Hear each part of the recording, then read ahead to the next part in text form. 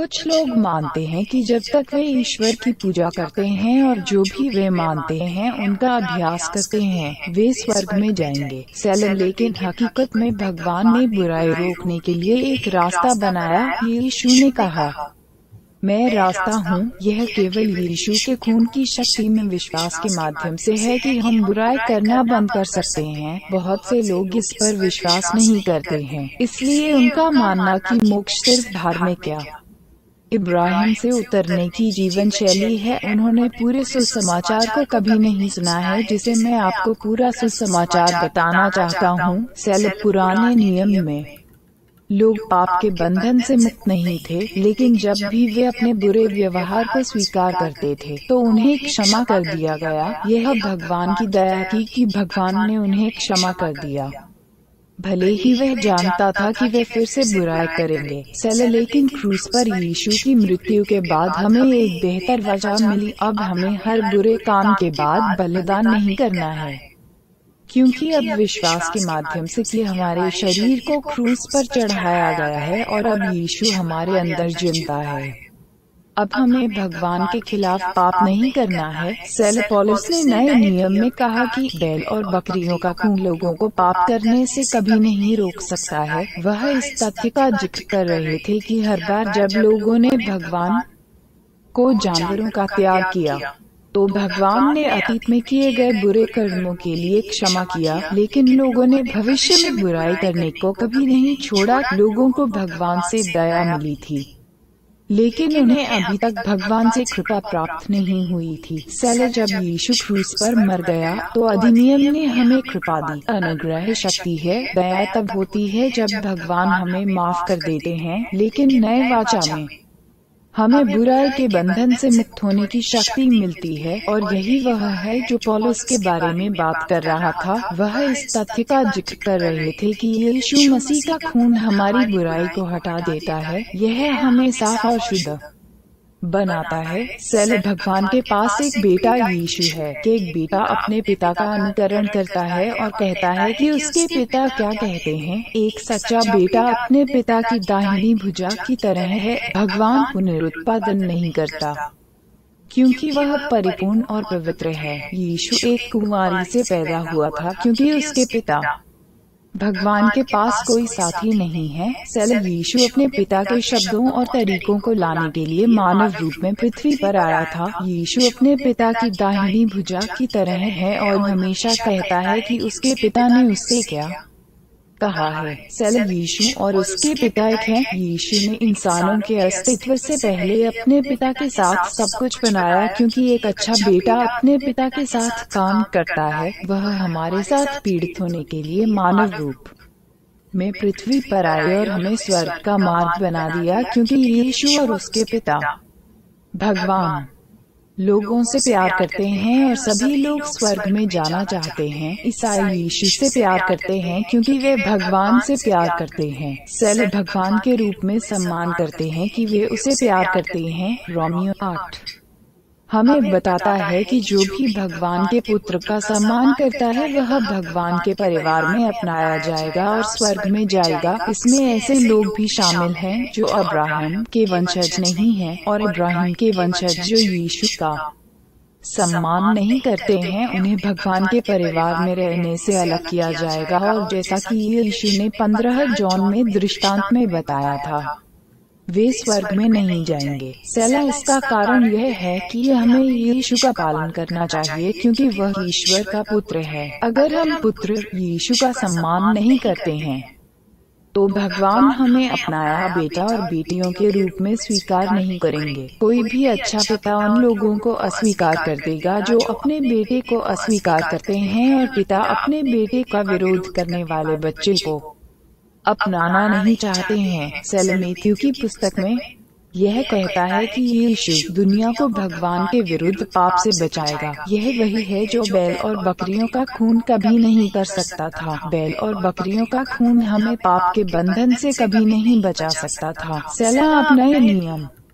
में देखेंगे कि यीशु और प्रेरितों ने कभी दावा नहीं किया कि यीशु हमें नरक से बचाएगा। शैतान और उसके स्वर्गदूतों के लिए भगवान द्वारा नरक बनाया गया था।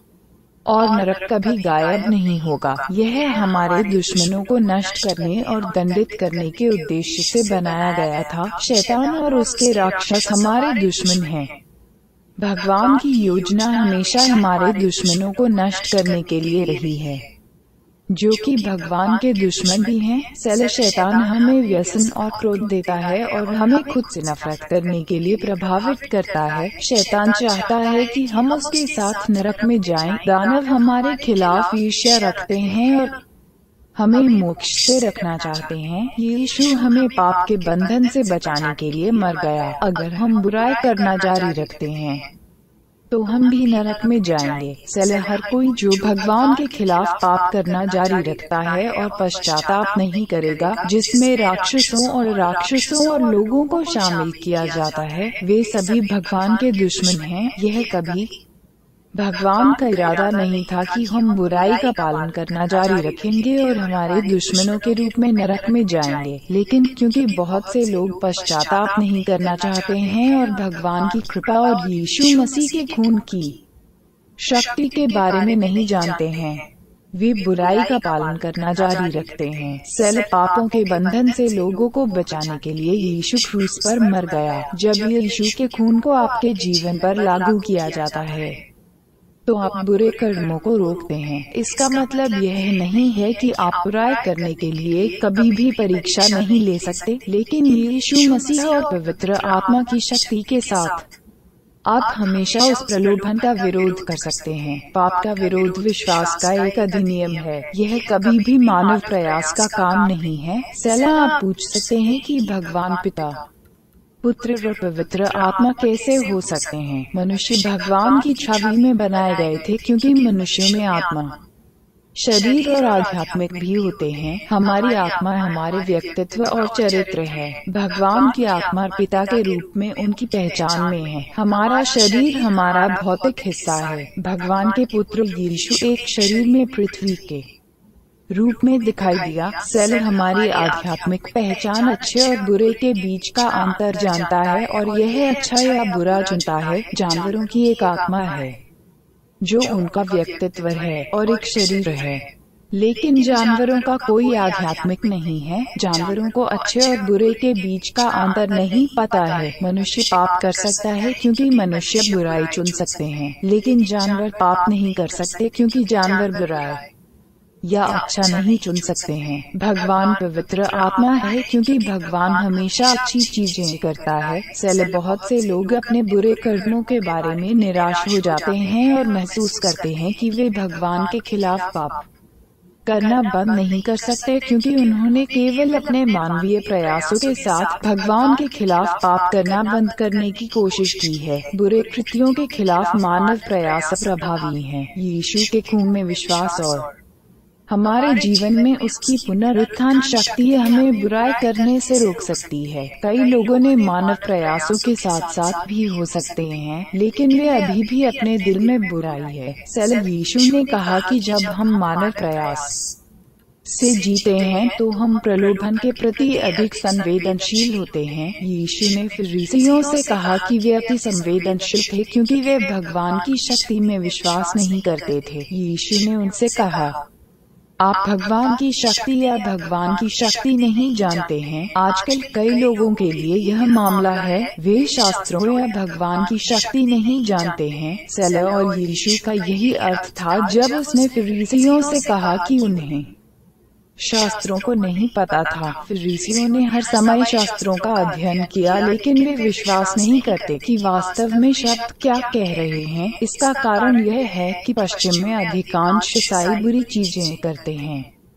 क्योंकि वे फिरीसिया की तरह हैं जो शास्त्रों को नहीं जानते थे। सले उनका मानना कि वे ईसाई हैं लेकिन वे बाइबल नहीं पढ़ते हैं या जानते हैं कि यह क्या कहता है। उनका मानना कि जब तक वे चच जाते हैं। वे बुराई कर सकते हैं पर ये सच नहीं है। शास्त्रों का कहना है कि यदि वे बुराई करते हैं तो कोई भी स्वर्ग में नहीं जाएगा। सेल रोमियो आठ बज के पैंतीस मिनट कहता है कि यीशु ईश्वर के विरुद्ध पिछले पापों के लिए क्रूस पर मर जाता है। बाइबल में कोई भी नहीं है जो कहता है कि यीशु हमारे वर्तमान या भविष्य के पापों के लिए मर गया था। ऐसा इसलिए है क्योंकि यीशु का खून हमें विश्वास के माध्यम से भगवान के खिलाफ पाप करने से रोकता है। यह भगवान से चमत्कार है। बुराई का प्रतिरोध मानव प्रयासों के माध्यम से कभी नहीं किया जा सकता है। यह केवल भगवान की शक्ति में विश्वास के माध्यम से हो सकता है सेलर रोमियो के अध्याय छह में पॉलिस हमें बताता है कि बपतिस्मा क्या है? बपतिस्मा विश्वास का एक अधिनियम है जिसमें हम पूरी तरह से भगवान के खिलाफ पापों के खिलाफ पश्चाताप करने के लिए प्रतिबद्ध हैं। पॉलिस ने इसे स्वार्थी इच्छाओं की। मौत कहा सेलपोलुस हमें यह भी बताता है कि जब हम पानी से बाहर निकलते हैं तो यह विश्वास का एक कार्य भी है जिसमें हम पूरी तरह विश्वास करते हैं और यीशु मसीह को हमारे अंदर जीवित रखने के लिए प्रतिबद्ध हैं। बपतिस्मा विश्वास का एक कार्य है जिसमें हम हमेशा के लिए अपनी स्वार्थी इच्छाओं के लिए मर जाते हैं और कभी भगवान के खिलाफ पाप पर वापस नहीं जाते। क्या आप जानते हैं कि यीशु मसीह हमारे भीतर क्यों रहना चाहिए? सेल ऐसा इसलिए है क्योंकि यीशु मसीह एकमात्र ऐसा व्यक्ति है जो भगवान के खिलाफ पाप नहीं करता है। कोई भी मनुष्य ईश्वर के विरुद्ध पाप नहीं कर सकता जब तक कि यीशु मसीह उस व्यक्ति में रहता है क्योंकि हर कोई बुरी चीज़ें करता है। लेकिन यीशु ही एकमात्र व्यक्ति है जो बुराई नहीं करता है। चलो यह एक चमत्कार है जब यीशु तुम्हारे अंदर ज़िंदा है। जब वह तुम्हारे भीतर जीवित है तो वह आपके दिमाग आपके दिल को बदलता है। और वह आपको बुरी इच्छाओं का विरोध करने की शक्ति देता है। यही कारण है कि बपतिस्मा मोक्ष का एक अनिवार्य हिस्सा है। सैल मानव मांस हमेशा पाप करेगा यह पाप करना बंद नहीं कर सकता है। यही कारण है कि पोलोस ने हमें बुरी इच्छाओं को क्रूज पर चढ़ाने के लिए कहा था। यही कारण है कि यीशु ने हमें अपना क्रॉस लेने के लिए कहा। जिसका अर्थ है कि हम अपनी बुरी इच्छाओं से मर जाते हैं जब तक हम स्वार्थी इच्छाओं के लिए मर जाते हैं। तब तक हम यीशु में पुनरुत्थान नहीं कर सकते। सेलर इसका मतलब है कि आप अपनी सांसारिक इच्छाओं को नहीं रख सकते हैं और आशा करते हैं कि यीशु आपका स्वामी होगा। आपको अपनी सारी सांसारिक इच्छाओं को छोड़ देना।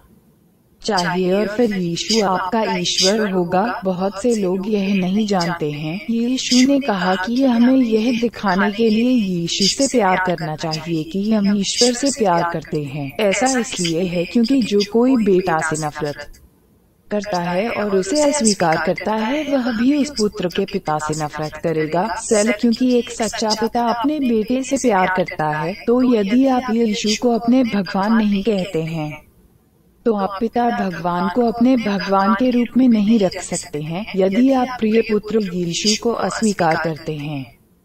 तो पिता आपको अस्वीकार कर देगा। चलो आप कैसे विश्वास कर सकते हैं कि आपकी मानवीय इच्छा को क्रूस पर चढ़ाया गया है और यीशु आपके अंदर ज़िंदा है? विश्वास आसान है। विश्वास सिर्फ़ विश्वास करने का फैसला कर रहा है। एक बार हम कुछ मानते हैं। हम इस पर काम कर सकते हैं। मैं आपको बताता हूँ कि विश्वास कितना आसान है। जब आपने पहली बार यह मानना कि दुनिया गेंद की तरह गोल है तो यह कितना मुश्किल था काफ़ी मुश्किल नहीं है।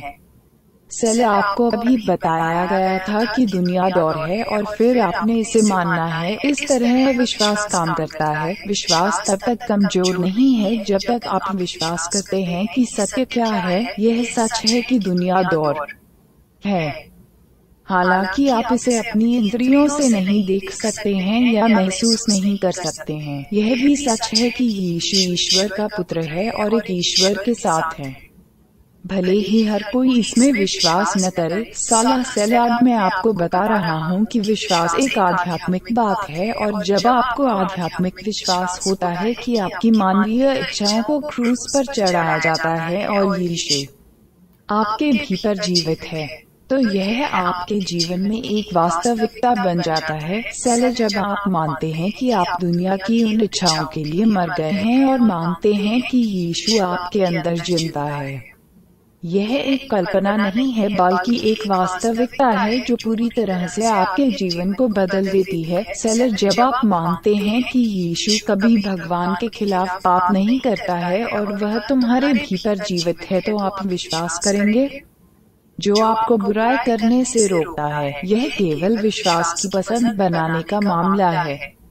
क्योंकि कई लोगों ने पहले से ही यह स्वीकार करने के लिए चुना है कि भगवान असली और पवित्र है। अब जब आप पूरे सुसमाचार को जानते हैं तो आप पूरे सुसमाचार पर विश्वास कर सकते हैं। सेल यीशु ने निकोडेम्स को बताया कि केवल वे लोग जिन्हें नया जीवन दिया जाता है वे स्वर्ग के राज्य में प्रवेश कर सकते हैं। सामान्य ज्ञान गैर ईसाइयों को भी बताता है कि जो कोई भी पाप जारी रखता है वह फिर से पैदा नहीं हो सकता है। अब हम सभी ने भगवान के खिलाफ पाप किया है। लेकिन यीशु केवल उन लोगों की निंदा करता है जो भगवान के खिलाफ पाप करना जारी रखते हैं। सेल यीशु बुराई करने वाले हर किसी की निंदा नहीं करता, क्योंकि यह सब कुछ होगा। वह केवल उन लोगों की निंदा करता है जो भगवान के खिलाफ पाप करना जारी रखते हैं। सेल, और उन्होंने नए नियम में कई बार यह कहा, नए नियम में कई बार उन्होंने कहा कि जो लोग झूठे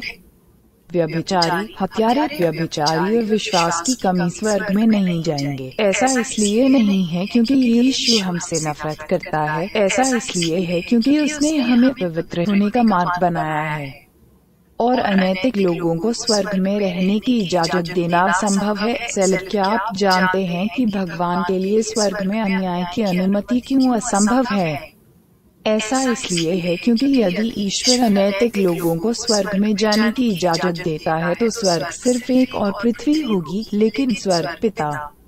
पुत्र और पवित्र आत्मा का घर है। स्वर्ग शुद्ध है तो वहाँ केवल शुद्ध और पवित्र लोग ही जाएँगे। सेल जो भी ईश्वर के विरुद्ध पाप करने के लिए रहता है वह स्वर्ग में नहीं जा सकता है या फिर भी स्वर्ग में समान समस्याएँ हैं जो पृथ्वी के पास हैं, धरती पर हिंसक लोग हैं लेकिन कोई भी हिंसक लोग स्वर्ग में नहीं जाएँगे। सेल यीशु ने हमें पवित्र होने का मार्ग दिया ताकि हम स्वर्ग में जा सके हमें अपने तरीके से विश्वास करना चाहिए कि उसने हमें बाइबल में सिखाया और हमें उसके मार्ग का पालन करना होगा। मैं आपको नए नियम को पढ़ने और विश्वास करने के लिए चुनौती देता हूँ कि शब्दों का क्या अर्थ है सेला पवित्र आत्मा से अपनी आँखें खोलने के लिए कहें ताकि आप देख सकें कि पेज पर शब्द क्या कह रहे हैं? क्योंकि पूरे बाइबल ग्रंथों में हमें भगवान के खिलाफ हमारे पापों से पश्चाताप करने के लिए कहा जाता है।